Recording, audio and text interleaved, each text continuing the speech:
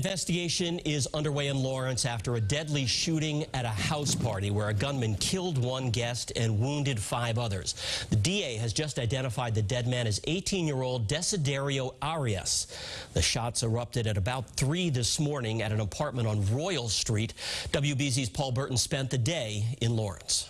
A violent night in Lawrence leaves five people injured and one dead after a shooting during a house party on Royal Street. He was on the ground, so I could see that his leg was bleeding and there was blood on his shoe, but I couldn't tell that he was shot. Investigators say it happened around 3 a.m. at this apartment building. Neighbors say they heard several gunshots. Yeah, like 10.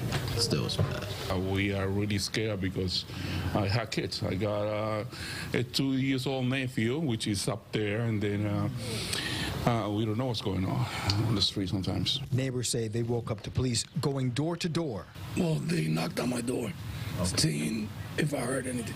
Lawrence police say all six people were rushed to Lawrence General Hospital.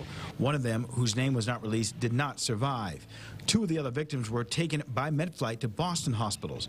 Dario Perez has lived here since 2008 and has seen the neighborhood change over the years. This has been a really nice, um, quiet neighborhood for a while, but uh, lately, uh, people moving from different places, from different states, coming in this area has been going crazy. It had to stop. It had to stop. Neighbors also say they've seen a lot of suspicious activity happening out of this building, but nothing like this. It's gotten to the point where many residents no longer feel safe. Every other weekends, the people always come out of the like arguing and stuff like that. It's usually normal, but it's just when people get out of control. Because there's no difference between Lawrence, Methuen, and Andover, and there's more people dealing drugs over here than over there. Mm. So there has to be more police activity. It's, it's just, you know, a scary feeling. It's just, it's really scary.